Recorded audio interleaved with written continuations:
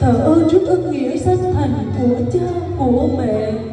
Người suốt đời thà hy sinh bản thân của mình, chứ không bao giờ để con mình phải tổn thương. Tình thương của người dành cho con muôn đời vẫn thế. Vẫn muôn ngàn cao hơn núi thái vẫn dạt dào mong manh hơn biển cả. Vậy mà chưa một lần nào con nghĩ được để báo ơn hôm nay chợt nhớ thì tha ôi cuộc đời này con không còn có cơ hội để tận hiếu với mẹ cha. Cha ơi, con nhớ, cha mặc áo không xương nắng buồn trần một mình lặng lẽ chẳng màng thân.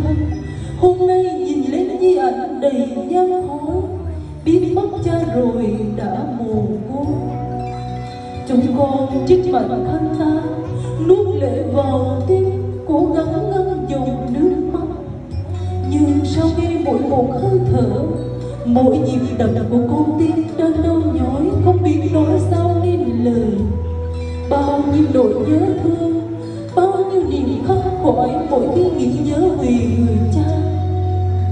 Người mà chúng con thương yêu, mới đó mà đã không còn trên dương thế. Hình bóng của cha mẹ đâu đâu cũng có, tình thương cha mẹ khắp nơi bao trùm. Tiếng cười của cha dáng của cha đang đi dáng của mẹ đang làm. Tất cả nó đang hiện diện ngay ở đây, ở trong trái tim của chúng con ngay bây giờ.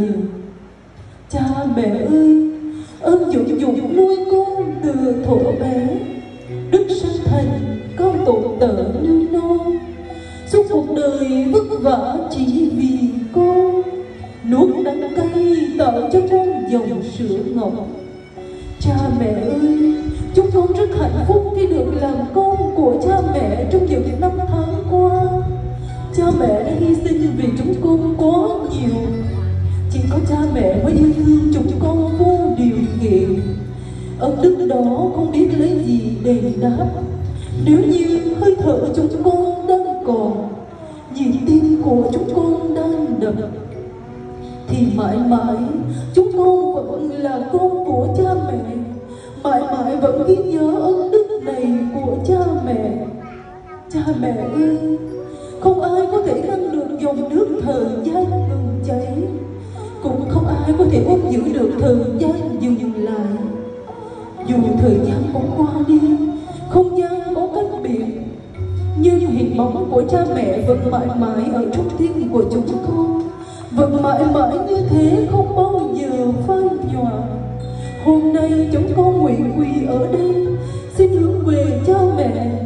Xin cho con lạy một lạy và hơn thế nữa cả ngàn lạy. Xin cho con nhớ được đến cha mẹ. Xin cho con được hôn lên đôi tay của cha mẹ. Đôi tay này vì con mà chai dần theo năm xin cho con được đặt tay sờ lên đôi mắt của cha mẹ. Đôi mắt này vì con đã thức khuya dậy sớm, đã thân nhiều không cần theo thời gian.